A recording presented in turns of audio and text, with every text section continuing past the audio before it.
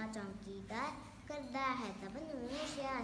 ਹੱਥ ਵਿੱਚ ਉਸਦੇ ਸੋਟੀ ਹੈ, ਸੋਟੀ ਬੜੀ ਹੀ ਮੋਟੀ ਹੈ।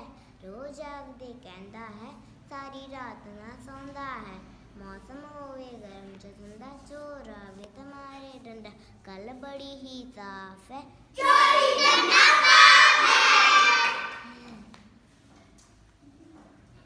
ਠਕ ਠਕ ਕਰਦਾ ਚੌਂਕੀਦਾਰ ਕਰਦਾ ਹੈ ਸਭ ਨੂੰ ਸ਼ਿਆਰ। ਹੱਥ ਵਿੱਚ ਉਸਦੇ ਸੋਟੀ ਹੈ, ਸੋਟੀ ਬੜੀ ਹੀ ਮੋਟੀ ਹੈ। ਰੋਜ਼ ਜਾਗਦੇ ਕਹਿੰਦਾ ਹੈ, ਸਾਰੀ ਰਾਤ ਨਾ ਸੌਂਦਾ ਹੈ। ਮੌਸਮ ਹੋਵੇ ਗਰਮ ਨਾ ਠੰਡਾ ਚੋਰਾਏ ਤਾਂ ਮਾਰੇ ਡੰਡਾ। ਗੱਲ ਬੜੀ ਸਾਫ਼